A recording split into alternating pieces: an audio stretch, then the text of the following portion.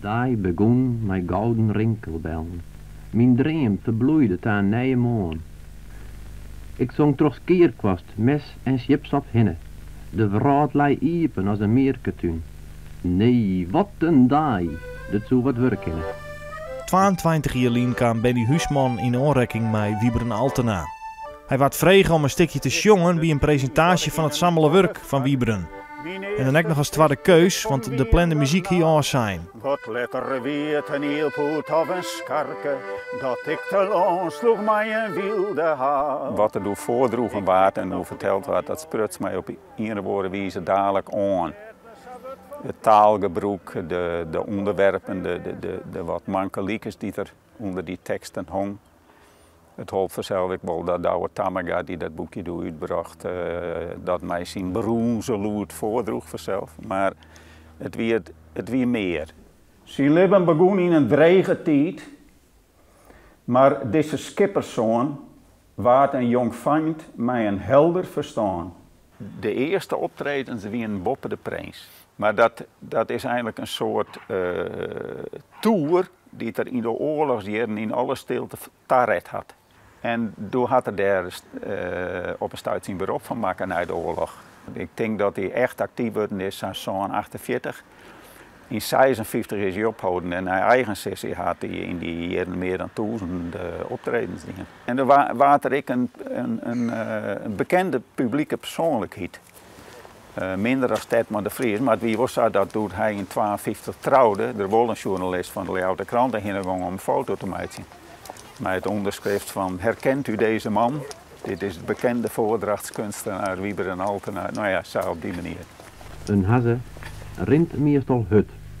Tenminste, wat er vangen wordt. Want lijkt er één keer op een snuit, dan is de gonger uh, vrijwel uit. Er zit vanzelfs een soort, uh, een bepaalde herkenning terug uh, in de teksten.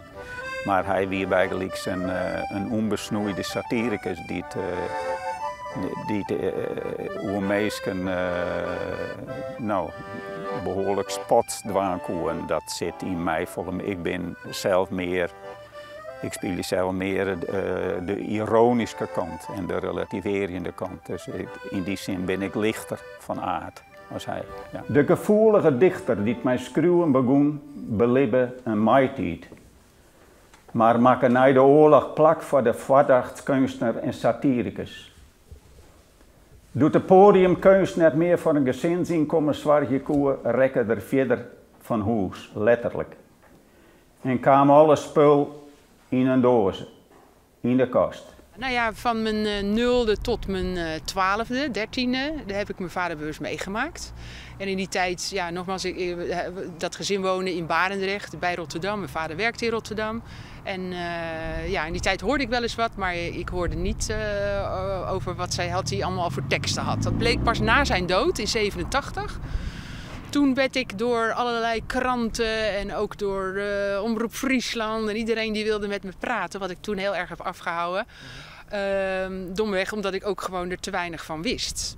Maar toen kwam ik er pas echt achter. En ook zeg maar de periode voor zijn dood, dat, toen hij stierf, toen heeft hij mij ook wel op zijn sterfbed allerlei dingen nog voorgedragen. Nou, we komen hier bij het laatste huis dat Wieber en Altena in Makkum wennen had. Uh, daar is er inkomen naar zijn trouwen. En die jaren, na 52, waren eigenlijk zijn drokste jaren als voordrachtskunstenaar. En, uh, maar Sayel wij die jaren 50 door Belune dat toch wel vrij gauw. En toen uh, had hij op het stuin een baan aangenomen in Rotterdam. En dit is een mooi moment om nou het boek uit te rekenen aan Sietse en Caroline.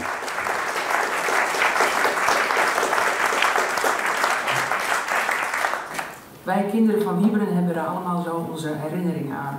Dat broer Theo hier niet is, heeft daar ook mee te maken. Wieberen heeft zijn rol als vader verzaakt. Hij faalde bij het nemen van verantwoordelijkheid en hij faalde doordat hij zijn frustraties over het leven botvierde op zijn gezin. Ja, misschien is het ook wel een hele hele moderne gedachte. Maar ik denk dan van, uh, als hij in Friesland was gebleven en hij was zijn droom uh, was hij na blijven streven. Of tenminste, hij was doorgegaan met dingen maken. Was het dan anders gelopen, denkt u? Ja, ik, ik vraag me af, uh, het is nog steeds niet helemaal helder van uh, wat precies het, het, uh, het motief is geweest om, om ermee te stoppen. Hij is ook niet teruggegaan naar Friesland na bijvoorbeeld de scheiding met mijn moeder. Ik denk, mm, ik denk dat hij vanuit zijn, zijn, zijn eigen zijn toch een, een niet heel wilskrachtige man was. Die moeilijk voor zichzelf duidelijk kon maken van wat, wat wil ik nou met het leven. Maar wel een, een, een bepaalde onrust voelde en, en gefrustreerd is geraakt door dingen. En, en dat daar meer zijn ongeluk uh, zit. Hij is in het Hoes Wijnbleun in Barendrecht. Had er uh, van daaruit nog tien hier zijn werk dienen. Hij was op de belizingsadviseur bij de Amaro-bank. Later was hij ongeneeslijk ziek en daar is er aan verstongen. In 87. Een beschreeuwend boek over een vergene tijd van Benny Huisman over Wieberen is nood te krijgen.